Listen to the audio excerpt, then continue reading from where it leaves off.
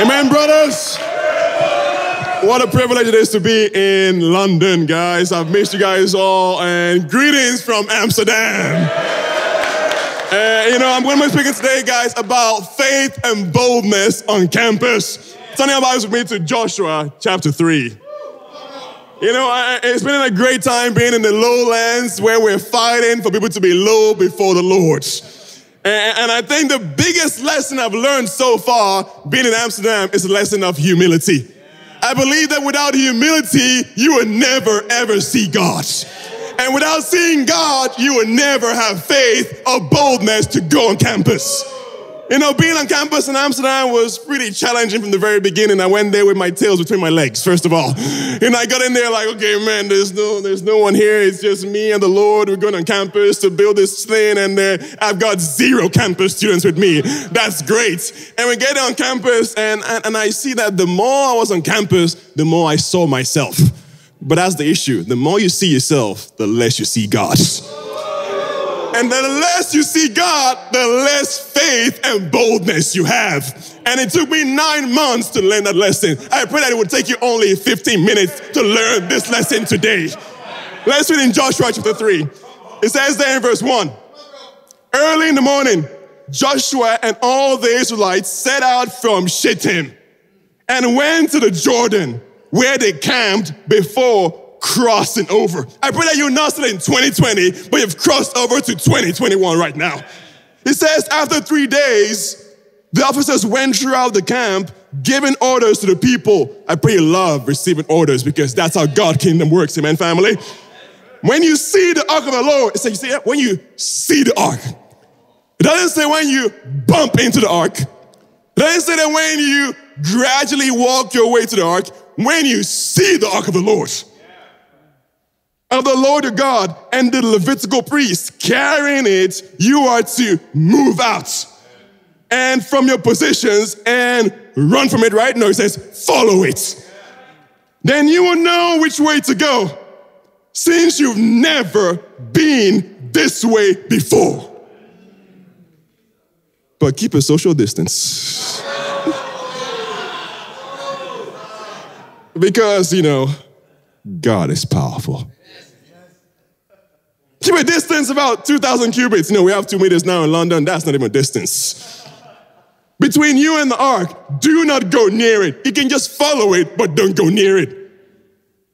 And Joshua, the man of God, told the people, consecrate yourselves today, for tomorrow the Lord will do amazing things among you. And church said.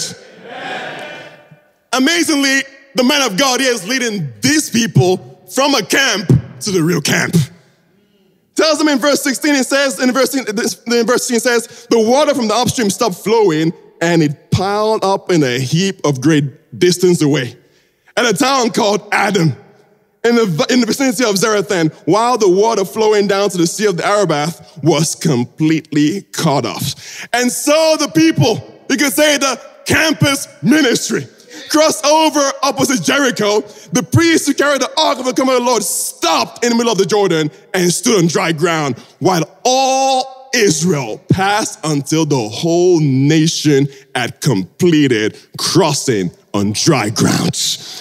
It takes the ark of the Lord to build the campus ministry.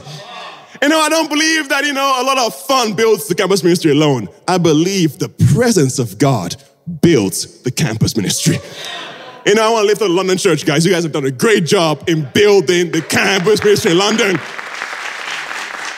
I believe that, that thanks to God using Michael and Michelle valiantly, that the church has set an example in building the greatest campus ministry in the European world sector. And, and, and, and one thing I learned from that is to carry that on throughout the rest of the world, it takes conviction. Joshua was a man of conviction. You might wonder why am I reading Joshua? Because Joshua performed a great miracle that took two millions of people across the Jordan on dry ground. How did he do it? He had conviction in the Word of God. Today I want to ask you do you have convictions? Do you have convictions? Because you know when you have convictions, when you're alone.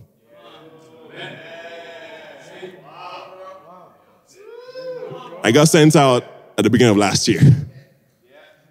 And that was my test. Do I have convictions or not? You know, campus ministry is so fun, but when you're alone, that's when you know if you have convictions or not. I got one point for you today. My point is simply convictions produce conversions. What is conviction? In Hebrew, the word means to express the idea, to argue, to prove to be correct. I want to ask you do you believe, do you correct yourself that the campus ministry is the way to build the church? Because maybe you might be like, I'm married, I need more married people. That's awesome, but let's get a campus first who will then get married. Maybe I'm thinking, well, I'm single, we need more single brothers and sisters. No, no, no, we need more campus to build the church, to be able to grow this church to where it needs to be. Amen, family? The Greek word for conviction means elexio, to refute, to usually suggest shame. And conviction only comes when you feel shame. When you get cut to the heart, like, man, I should have done this, but I didn't do it. I should have grown in this, but I have not grown yet. I can do better than this. A guy once said, while they were saying amongst themselves, it cannot be done, it was done. And the guy said, if you're true to your principles, you have confidence, conviction, purpose, values. In other words, you have a future. You see, your future depends on your convictions today. Because you remember thinking, well, maybe it's on Michael's convictions. No, it's on your convictions. Your future is on your convictions, not anyone's convictions here today. I want to persuade the church today. It takes convictions. You know, amidst this old challenge of Joshua seeing the Jordan. He sees the Jordan before him and sees too many people behind him. And he says, Where do I go? You know where he goes to? Bible says, it said, the ark of the Lord. What does of the Lord mean? That's the great question today, right, guys? What, what does it really mean? The presence of God. Only God's presence can build anything. Only God's presence can make anything move forward, perform the greatest miracles. Today, I want to ask you do you have convictions on the presence of God in your Bible talk? Is God present in your marriage? Is God present next to you in bed? Is God present to you when you're sharing your faith? Or do you want to get to campus without God? I said, campus is really fun, right, guys? I see Paul Talumba saying, make some more. yeah, yeah, we gotta make some more. Oh, man. Yeah, like, we gotta make some more, but without God, we ain't making some more. I want to challenge you that we gotta have convictions on the presence of God before we can see conversions happen in this church. What does, what, what does the Ark of the Lord mean? I mean, I'm asking, what does, what does it really mean? You know, the Ark of the Lord has five things in it. The first thing it has is the two stone tablets. What does it mean? I mean, it shows that, hey, we're gonna take two pills every day the Old Testament and the New Testament every day. That we're gonna be taking our tablets of the Word of God and getting convictions to produce conversions. Amen, family. But the Old Testament is a bigger pill, amen. you gotta eat that bigger pill a little bit more. And I want to lift up my dear brother, Timo, there, who's from Amsterdam. And he has conviction on the word of God. He said in Amsterdam last week, he said, you know what? It's not what you see, it's about what can happen with what you see. And read also in the Ark of Covenant was the Aaron staff. What does Aaron staff mean? Is that staff that everything that happens to you is God's comfort for you. The bad, the good, the ugly, it's God comfort. So David said, The Lord is my shepherd, his rod and his staff, they comfort me. You know, being in Amsterdam has made me see a lot of sin in my heart, a lot of pain. I've seen my first guy that I baptized fall away right away after four weeks. Is that comforting? Yes. Because the Bible says, the Lord comforts me. That means in the pain on campus, in the pain outside campus, and everything we have, the Lord comforts me.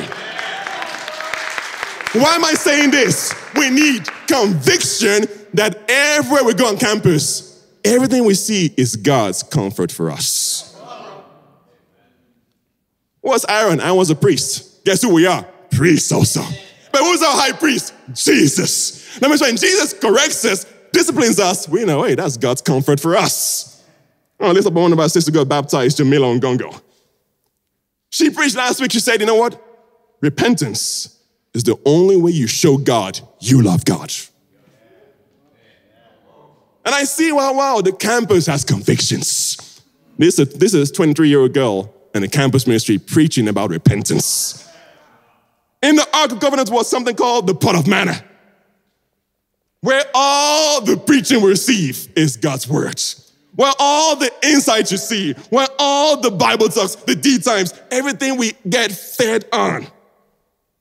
Constantly being fed in the church. I believe our church is the most fed church in the world. I believe we're sometimes too overfed in the church. But it's not about how much you eat, it's about how much you do. Brothers, I want to just challenge you today. Is the pot of man of God's word giving you convictions or not? Because what will make us see conversions is convictions. And Brother Amsterdam said, you know what? He, was he got baptized in the summer. His name is Miguel dos Santos Otero. a, a, a true, a true Dutch Spanish man. 18 years old, was baptized on his birthday, and was first year civil engineering students. And he got persecuted for five months by his dad. His dad said he's gonna kick out of the house if you don't leave that church. At 12 midnight, his dad came to his house, says, Pack your bags, pack your clothes, you're leaving right now. Give you five minutes to leave. The first challenge he had, the Bible, his dad said to him, You know what? You, you've changed, you've become extreme. And you know what he did? He laughed. He was like, Yes. I am in unity with Jesus. I tell you, convictions will give us the boldness and the faith on campus, my family. And lastly, what I want to share with you is on the on the ark was the mercy seats. That mercy seat where you can go to to receive mercy. You see, you know, when you're on campus, you need some mercy, man. But a campus without mercy is a fake camp to be on. And again on the ark was the cherubim, the angels watching over you. I believe in Amsterdam, I've come to realize that without God watching over us, we would not be a good church in Amsterdam. Wherever you may be, we're on campus, man, family. I want to give you a challenge practically. Don't be led by your emotions. Don't be led by your thinking. Don't be led by people around you that I don't even know the Bible. Don't get into discussions that don't make sense. If the Bible doesn't say it, it doesn't say it. If the Bible says it, it says it. And lastly, in Amsterdam, I always say, you can't be spiritual unless you're scriptural. Let's all be spiritual by being scriptural. And to God be all the glory.